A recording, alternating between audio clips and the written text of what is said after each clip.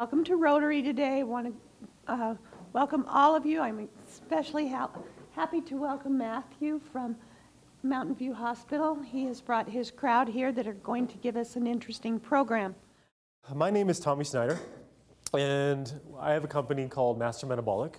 It's a team of metabolic coaches that write programs for people to be successful in whatever their goals are, fat loss, muscle gain, or sports specific, or just quality of life.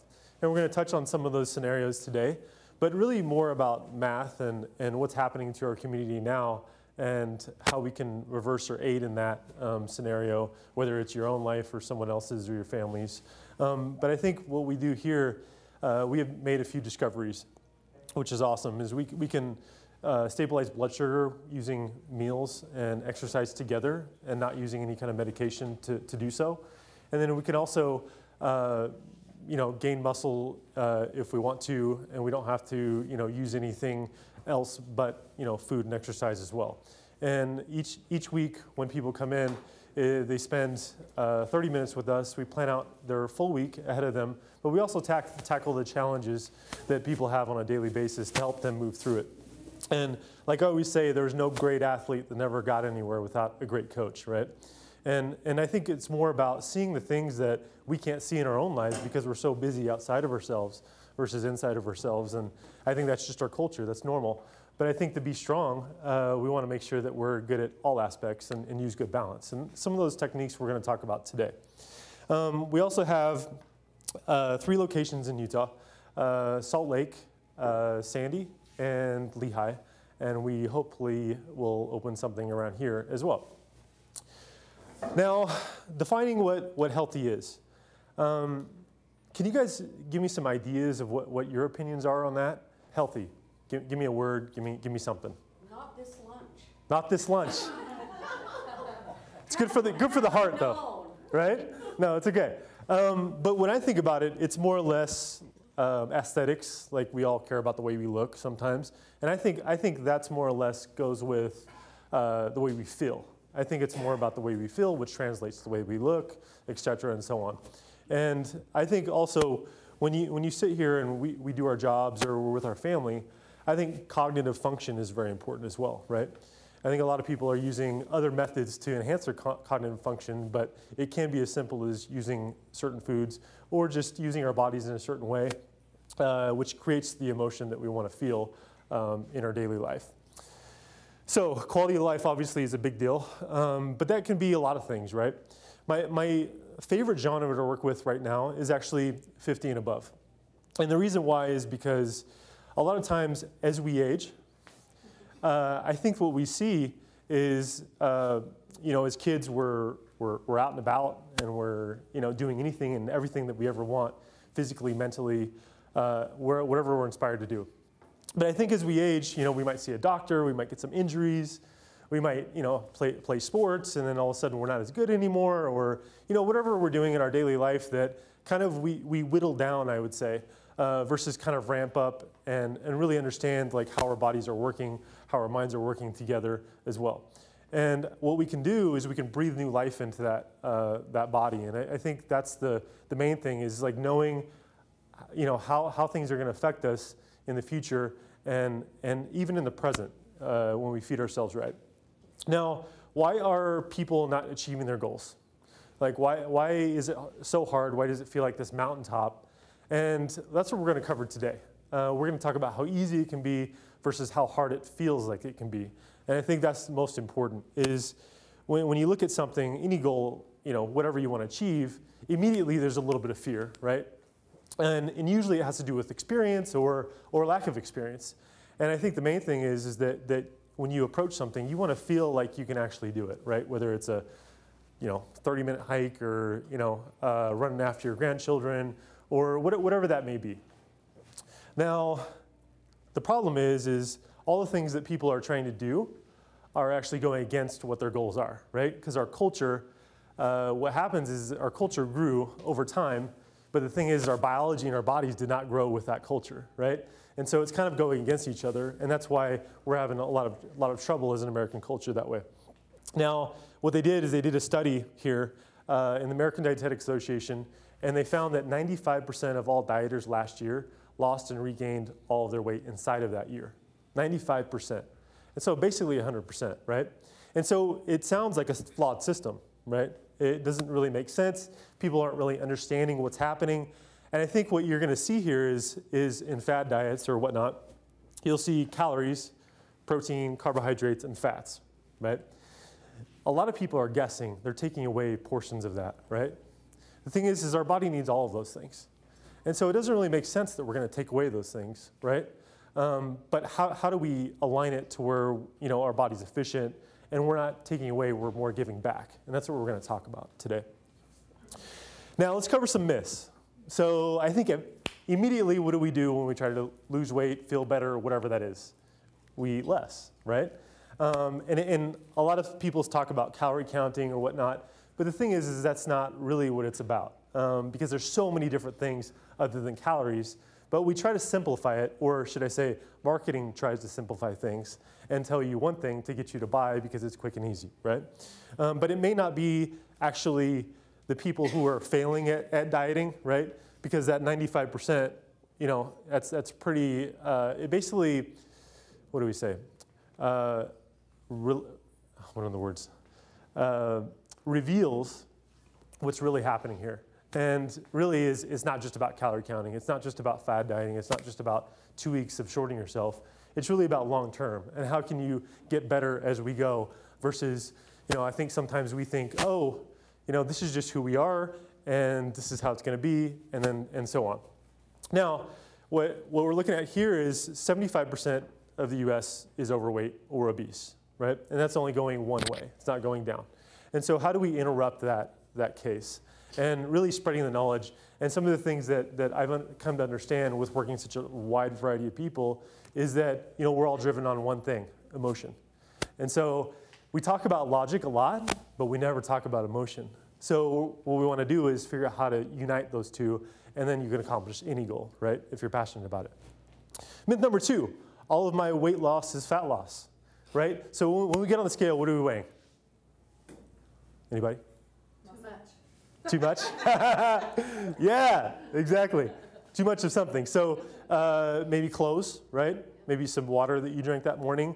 Maybe if you do it right in the morning, you're not wearing clothes, but maybe you are wearing clothes. I don't know. Um, but there's a lot of things going on there that you really don't understand what's, what's happening within that weight. And so with us, we like to take body fat um, because then we know muscle and fat, and then also weight on top of it, right? And, but if you were doing your own program, I'll, I'll teach you some ways to be able to track that uh, for you. Now, America, like I said, is, is, is not accomplishing their goals, but the reason why is what's happening within the scale, right? So if you look at, you know, separated muscle versus fat, positive versus negative, right? Um, then we're tracking both, right?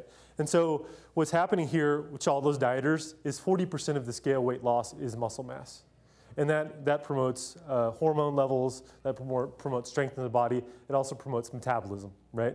So if we can't, if we can't accomplish those things, how do you think that we're going to succeed at our goals or dieting or whatever you want to call it, right? It's not really going to work very well. The myth number three. So the more the workout, the better. I think I hear this a lot, or I have heard it a lot, to where, oh, i will just work it off and you know do a bunch of exercise, right? Um, the challenge with that is if you don't have enough food to support your exercise or your muscle mass, what are you burning? Muscle. Muscle, yes, instead of fat. And that's not the goal, right? And, but because if you're looking at a scale and you've lost some weight, automatically you think you've won. And that's more marketing, right? So the main thing is, is how do we figure out what's happening and how do we get to the next level, right? This is my favorite picture. I kind of covered it with that. Pizza factory's not on there. We're okay. It, it's not. You're safe. You're safe. You had some vegetables on there. Okay, so what we're going to do is we're going to cover the typical American. Okay, so let's set the setting. So Mr. Jones is going on a cruise, right, in eight weeks. It's sunny out. Um, he, has got to fit in his, his leopard Speedo, right? He doesn't want anything hanging out too much. And so he decides to go on a diet eight weeks out. And as you'll see on the left here, he starts at 200 pounds at 30% body fat. And you'll also see that he lost 30 pounds on the scale. And so what happens, like, what's happening to him after he loses 30 pounds? His peers are what?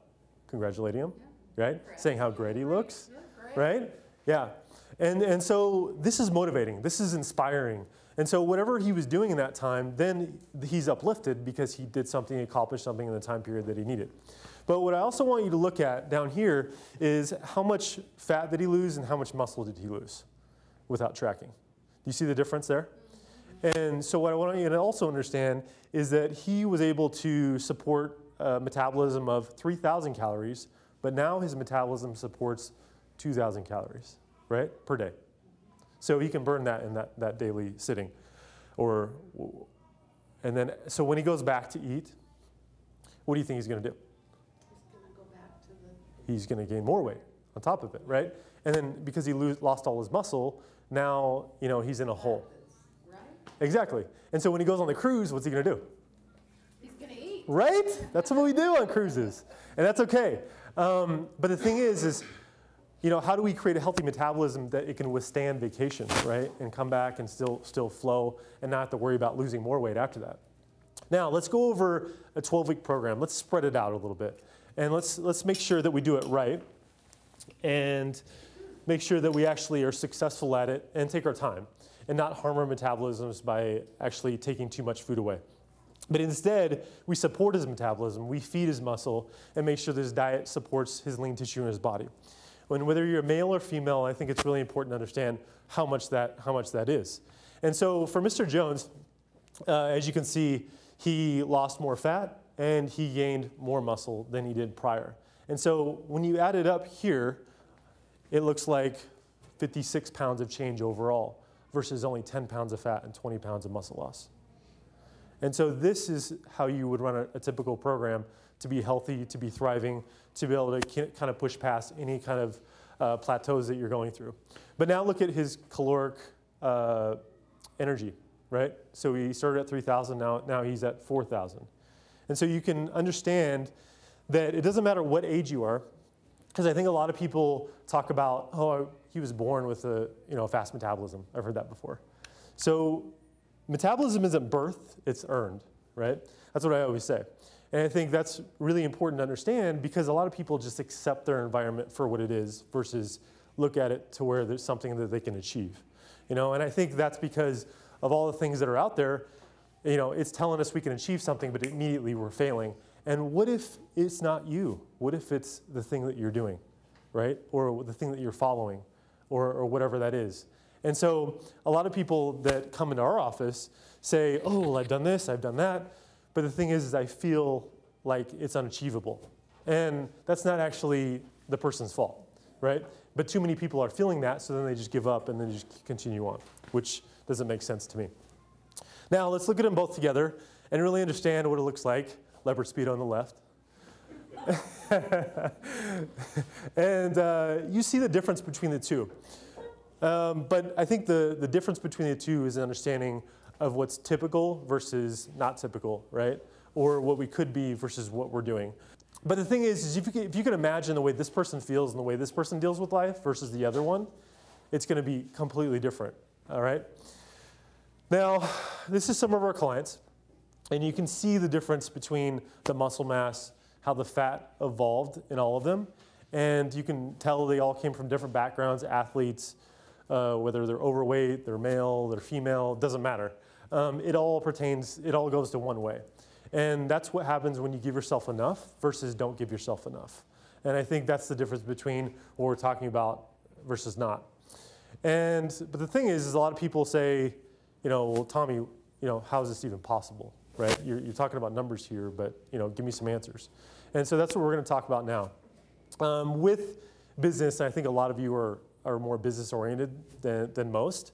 And you'll, you have a plan at first, right? You have, you have things that you have to execute on a daily basis, weekly basis, whatever that is, and even monthly basis, and you execute, and you're successful at it, right? The same thing goes with these building blocks as well.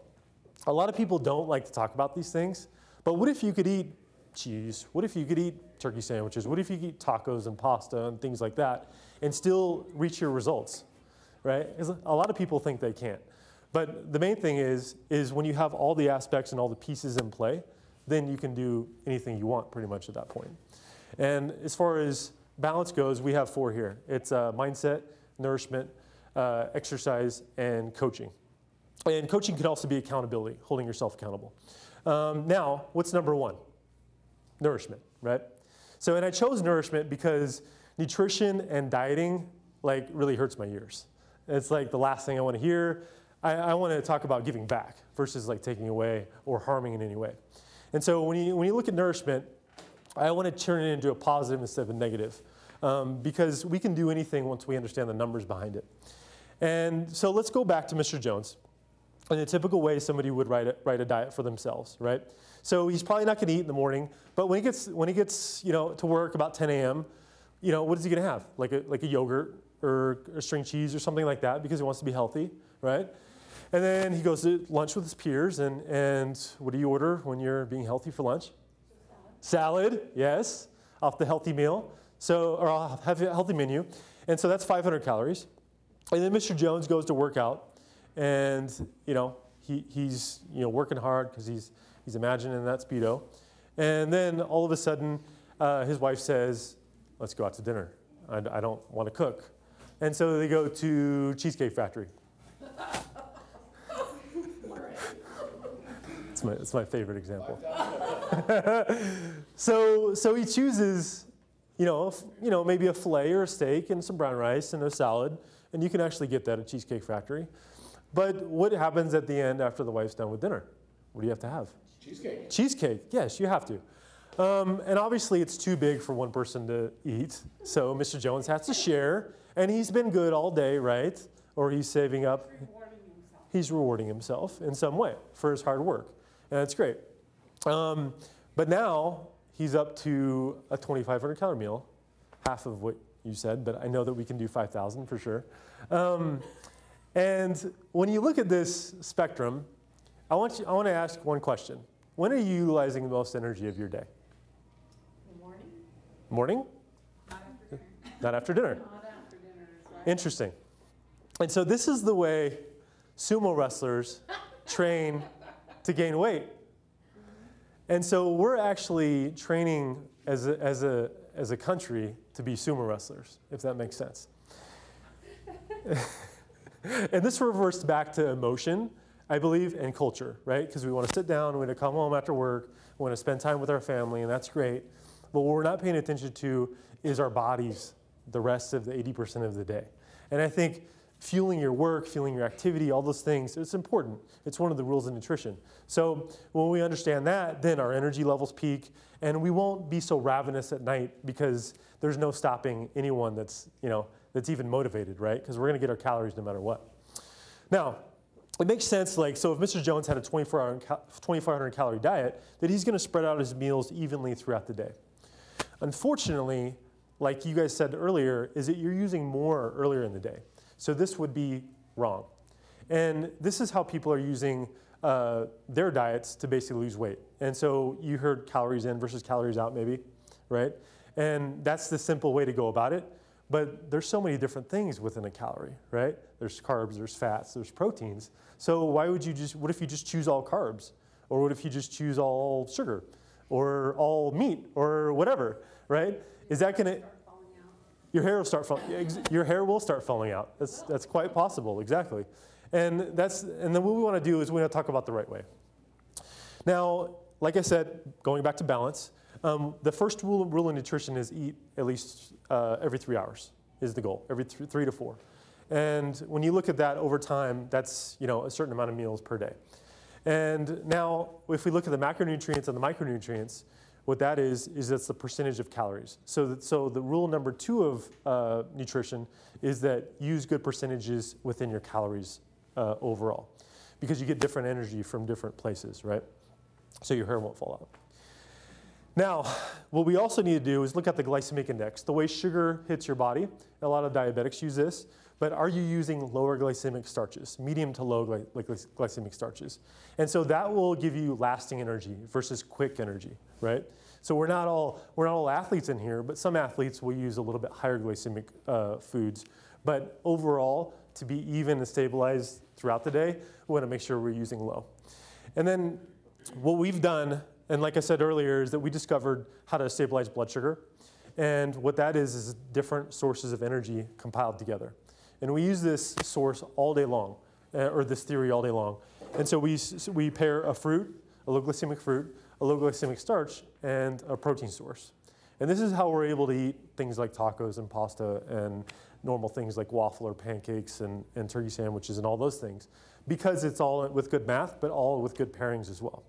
And so if you have uh, a faster burning sugar, a fruit, and a slower burning sugar, which is the starch, and then a protein source, that, then you're covering all aspects so your hair doesn't fall out.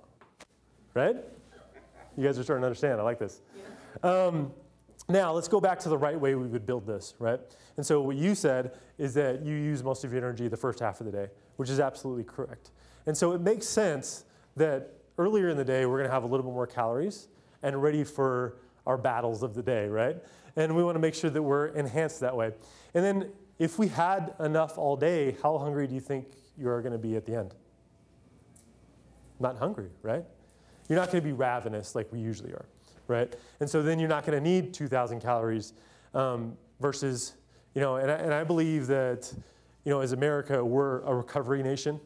So we recover, right? We go to the doctor when we're already sick. We, you know, feed ourselves after we're already starving, you know, those kind of things. And because everything else is more important to us up front. But if we shifted that focus, then everything would change. Um, and then you'd be able to eat all day long, and it's not a bad thing at all. Um, the thing is, the, the challenging thing is what's efficient within your day, right? What foods can you eat and it's efficient and still be successful in your life? That's the challenge. Now, I remember uh, my second grade teacher, uh, would she tell me when we had a big test, the state exams or whatever, um, she said, eat a good breakfast, right? And so I'm going to give you a figure to walk away with today. Uh, if you don't eat breakfast within 30 minutes of waking up, you have a 300% chance of being obese. If you don't eat breakfast at all, you have a 500% chance of being obese. And so when I heard my teacher, I was like, whatever, it doesn't matter. Um, but now, as an adult, I actually understand what she was talking about. Now, uh, exercise. And so some of the some portions of this uh, stuff might be a little foreign to us, uh, whether it's uh, weight training or challenging your body or cardio or or whichever. Most people pick like one or the other, um, and then or just food, right? And there's a lot of programs out there that attack you know one of those things. But how do we bring them all together and understand the importance of all? So food is 60% of your goal, and ex exercise as far as weight training, resistance training, whatever that is. That can also be Pilates and etc. But challenging the muscle, how much are we doing that? 30% of your program should be that. And they say that within you, a year's time or, or whatever, a human should be challenging themselves at least 50% of their life. And I've kind of condensed that down to three days out of seven is, is, is an easy goal, easy format. But of course, you want to use progression, so you can start one day and then maybe add another and, and, do, and so on. Now, resistance training, what that, what that does is it breaks down the, the muscle fibers, and then metabolism is bringing in the nutrients from the nutrition and turning over the, and turning it over, and that's thermogenic, right? That's thermogenesis. And that's what creates heat in the body and, and consistency. And so a lot of us aren't doing those two together. A lot of us doing are pieces of it, like I said. And cardio is 10%. So and the reason why cardio is 10%, it's like the cherry on top, right? If we, if we have a sundae, we still need the cherry, and it's important. And so that little piece is very uh, finicky, I guess. Because if we do too much, what are we going to burn? Muscle, right? Um, but if we do just enough and just the right amount, then we, we can still burn just fat and still make sure that our muscle is still enhanced at that point. Now, if you look at the two, and this is also another uh, fact, is that uh, with any kind of weight training or resistance on the muscle, you burn calories 48 to 72 hours after. Cardio, you only burn calories five to seven hours after, right? So it kind of makes sense that we pepper things like throughout the week to be, to be really efficient. And so whatever you guys are trying to schedule your own stuff, that's how I would schedule it. I love this picture. So if you look at this, this is just an extreme example of two uh, different sides of things. So one's a sprinter, one's a, an extreme marathon runner, right? And you can see the difference that back up kind of what, what I was saying there. And so if, if you think about in caveman terms, when we were cavemen, what did we do? If we, we hunted, we gathered, right? And so a caveman didn't wake up at 6 a.m. and say, I think I'm gonna run for three hours or two hours and train for a marathon. it's not really human, right? But what is he going to do? He's going to walk. Or if he's hunting, he's going to catch his prey within 30 seconds. Maybe 60 if he has like, you know, max speed for longevity. But if he's not going to catch his prey in that time, he's probably not going to achieve it, right? So what is that, sprinting or low heart rate for a long period of time, right? So you with me here? So if you have a low heart rate and you're doing cardio, then, then that's consistent. So fast walking, a lot of my clients do. Um, slow jogging sometimes, or we're gonna do a little bit of interval stuff if you're ready for it. But mostly just walking. You can finish the whole thing just walking. And then the weight, weight training portion obviously can be either done through cardio, because this guy, he obviously looks like he does a little bit, um, but then also short distance also helps as well, as well with a little bit of rest in between. Now, let's move on to something else. So mindset. So mindset can be a lot of things, right? Um, and a lot of you I know have great mindsets, just the way we started our day. But the challenging thing is how does food interrupt mindset, right? And I'm going to talk about sugar for a second, um, not too long because I know that you know our culture is built on this. But how does sugar affect our mind and our body, right? And so what I say is there's, there's three things that happen. So initially, you know, sugar comes and goes, and the high only lasts one second, right? You have it a little bit and it's gone, right? Number two is that sugar is the only thing in the world that, that blocks leptin. And that is, that is what happens when your body feels full. And so if I was to give you like a thermogenic food combination with fruit, starch, protein, your body feels full. But if I was to sprinkle sugar all over it, what happens is, is your body doesn't know it's full anymore because it blocks that, right? It blocks leptin. And then what happens after that, when your blood sugar goes up and crashes down really quick, you're really happy and high, and then all of a sudden you want to lay down. Um, and the problem with America, and I know some of us don't drink caffeine in here, but the number one supplement in the world is caffeine. And so as they're going down, they're trying to go back up, and they're getting crossed, right? So their adrenal glands are smoked, and their, their sugar high is gone. So the high is gone, you're not full, and you're depressed about it because your blood sugar is so low. It's honestly factual, which is kind of funny. So what do you do? You Start over again, right? Which is interesting to me. Um, and, I, and, I, like to let our clients know what's happening to them biologically um, because a lot of us think that, oh, we're, this is something that we're emotionally doing or this is something we're choosing to do. What if it's not something we're choosing to do, right? If you make a big thing of cookies, what happens? You'll have one, never satisfied, right? I walk by that thing, and if I see it, I'm going to grab it, right? And, and this is something that stay at home moms deal with every day. And so I work with a lot of stay at home moms, obviously, in Utah. And, and that's the biggest thing is 3, 4 o'clock in the afternoon. What happens? Their kids get home, it's snack time, right? And so that, that is conditioned. That's, that's conditioned in them. And bio, biology wise, they can't get away from it because they're sprinkling a little bit of sugar on stuff. That makes sense? It's kind of interesting. And so this is the kind of uh, you know, circle of life that we're living, and it's normal. It's normal. And I, I don't think anybody should feel bad about it, but how do we maneuver it to where we're happy and we achieve the things that we want to achieve, right? And still be uh, in our culture and do the things and, and be who we want to be and be happy and all those other things, right? And that's balance. But how much of which equals what balance, right?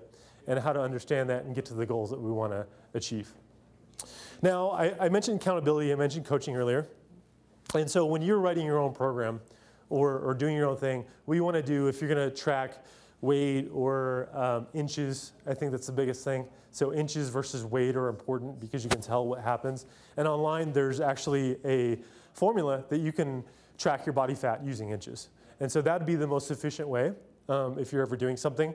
And then obviously we do coaching, which is important as well. And, but the main thing is, is vet your coaches, right? Because they might not know everything that they're actually trying to get you to, you know, do. Now, story. So proof is in the pudding, right?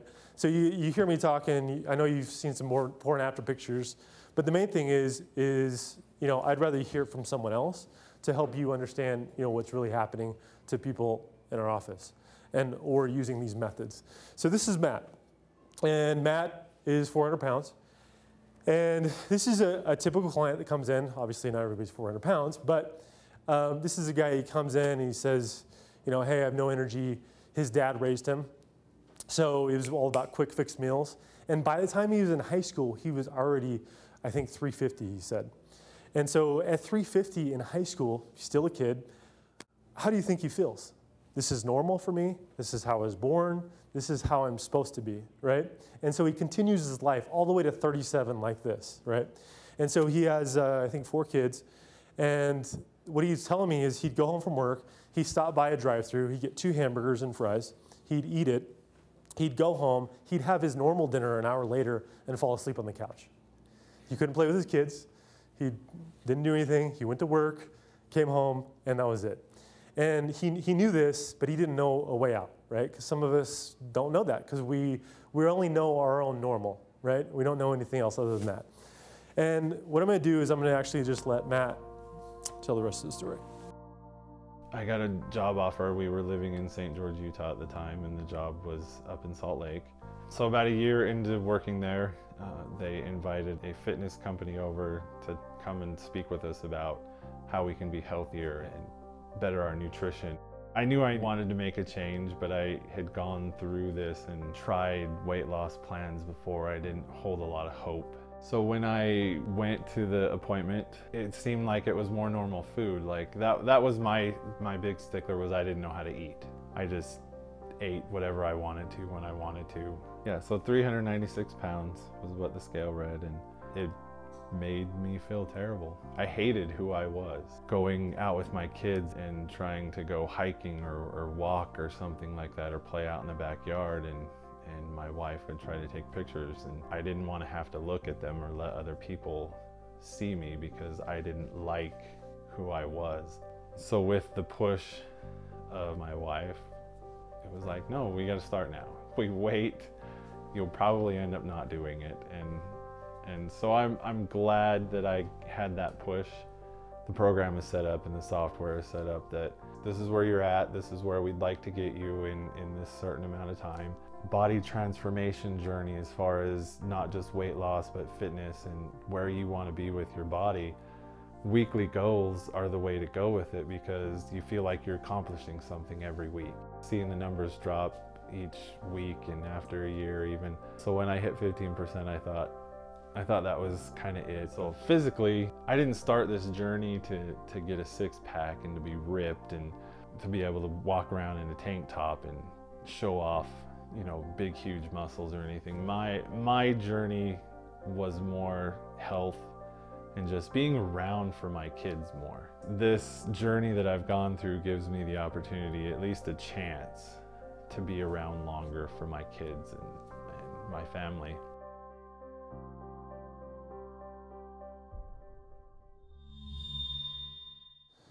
I always like to give like the most massive example to people so then they feel like their goals are nothing compared to that. Makes us all feel better, right? Um, and, and, I think like the shortest mountain to climb, we want to start with that, right? And versus look at some gigantic thing. But I think it's all about steps, right? It's it's about longevity versus like short-term scenarios, and that's that's what we believe, and that's why I think we stop, you know, so early. I appreciate you guys sitting and listening, but thank you so much, and uh, let us know if you need anything. Appreciate you.